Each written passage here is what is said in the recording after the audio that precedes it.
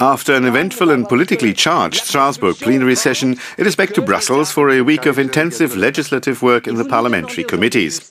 The tone will be set by a high-level visit in the Economic and Monetary Affairs Committee. European Central Bank's President Jean-Claude Trichet will meet MEPs for a monetary dialogue on Monday afternoon. The two main topics chosen by members are what lessons from the economic situation in Greece and how to use the treaty for more effective economic coordination in the euro area. Political group leaders leaders have already been briefed Thursday by Council President Van Rompuy on the position of the member states. We want to see more ambition that they're really going to coordinate their policies, that there is a kind of a binding sanction mechanism when they don't fulfill their obligations. And there it's still a long way to go, and the Parliament really has to play a leading role. The ongoing economic crisis will also be in the spotlight in the Committee for Employment and Social Affairs.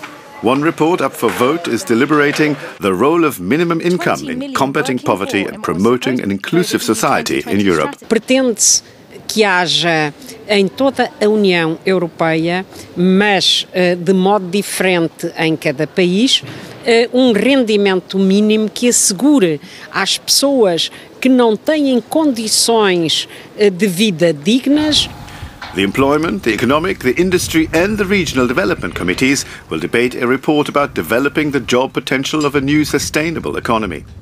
Also looking ahead to a hopefully brighter future is the Transport Committee, considering the amendments to a report about intelligent transport systems. What we want to achieve with this report is to get more use of intelligent transport, which would provide us all with much more information when we drive make it easier to find out what's happening ahead of us. We need standards. The technology is there, but uh, it's not being used to the extent we'd like to see. And Council President Van Rompuy will report on the results of Thursday's EU summit at a special plenary session on Wednesday afternoon. Follow this exchange as well as the committee meetings right here on Europarl TV.